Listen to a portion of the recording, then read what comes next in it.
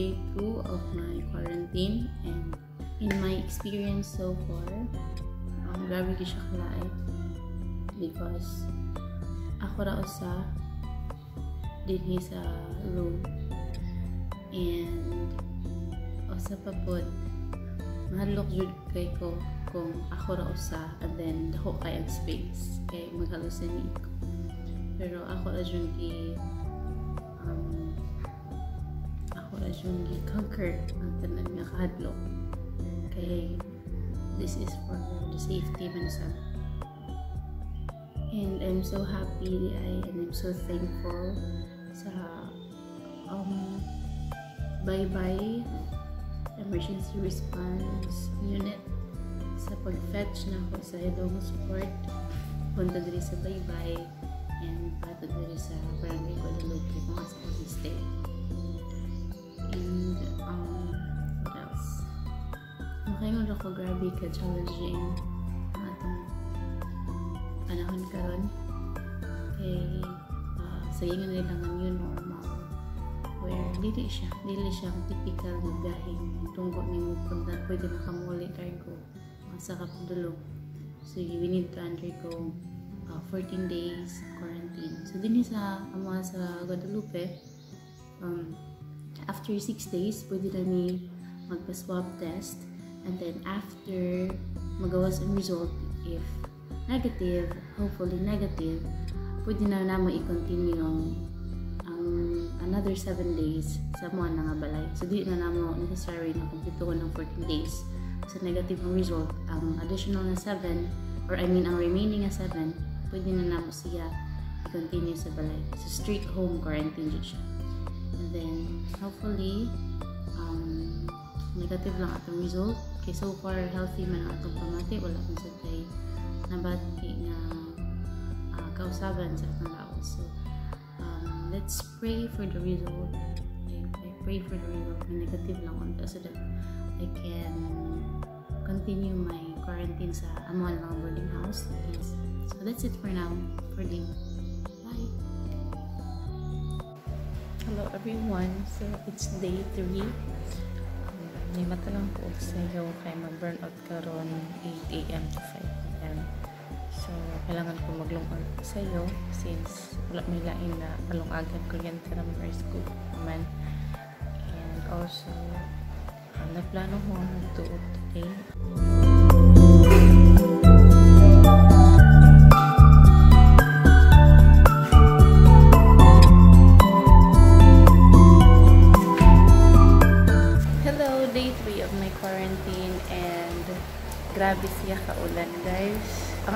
akong gibuhat ganina morning sa ko ni mata kay nagtuog ko. Actually wala ko na feel na something sa akong lawas but yun dito sa feeling after so nagtuog ko. And then um, sayo ko naglungag kay mag run out man daw karon whole day. So naglungag ko daan for hantod na niyang panihapon. And then for my sudan naaman ko eh dalang ang mga canned goods. And then later on dala na sa ko ni Roslyn sa uh, mga utan na akong ipapadala niya. And you know what? Um, grabe kaayo ang ako ang na-feel na happiness tungod kay ako nakita na kadaghan di ay sa mga maayo pang tao sa earth. Kay for example sa Roslyn si Rome kanang ni volunteer gid sila nga if ever na mga kinahanglan willing na sila then at Rachel and Jonah nag-mention sila na mag-visit sila by Monday to bring something. And then nakakataba ng puso. Char. Sin ngat pinit kay sa feeling na naari mga tao gihapon na willing gihapon mo kanang term tawag nila na malasakit. And So, thank you so much guys. I'm so happy and I'm so grateful na nakaila ko kung mga tao nga sa maning kapuotan. So, God bless you. Thank you so much. Hello everyone. So, for my day 4, um, I know, day 3. Nag-brown out siya guys. So, for the meantime, mga akong gigamit, nagsuga ka ni siya. Ganun. May gani ka naka-charge ko sa power bank ganina. So, mga to siya akong chika. Hey, bye! Hello guys! So, the electricity is back. So, pwede na ako makaluto para panihapon. Stage. Hello everyone! This is day 4 of my quarantine. It's 7 in the morning.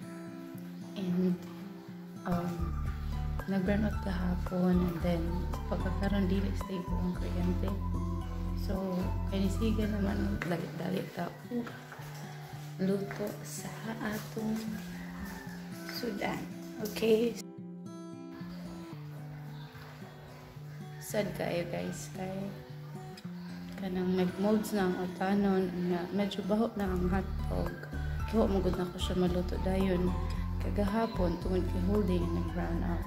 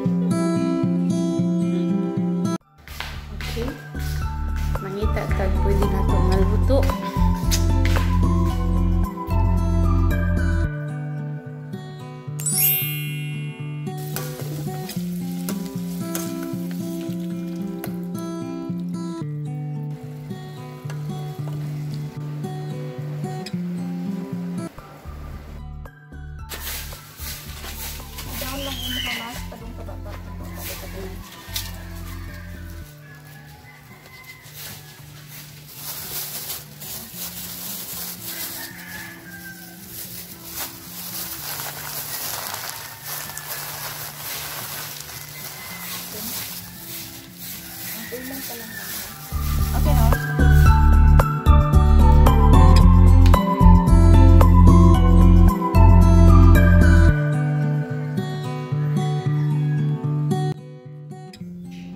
This is day 7 and I'm waiting for the result of my swab test yesterday.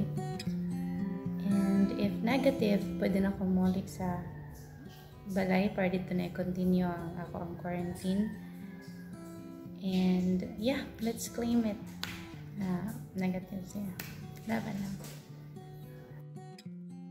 Okay guys, so um, nana ang results sa ako uh, na swab test. And fortunately negative in taon ta and then pwede na ito uli i-continue na to ang uh, remaining days sa balay na na quarantine. So see ya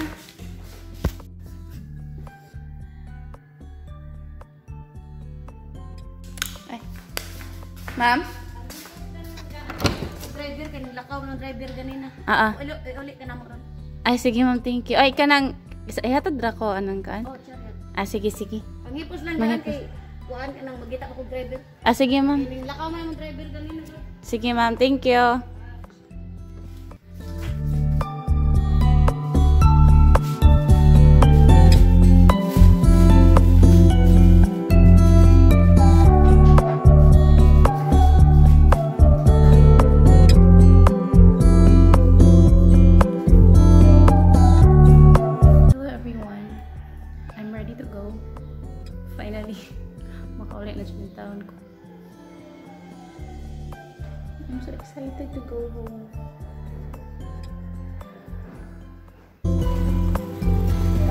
Out, sir.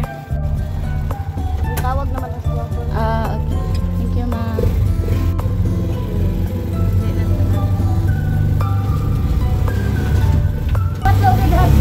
Salamat! Salamat sa inyong hard work! Thank you! Salamat!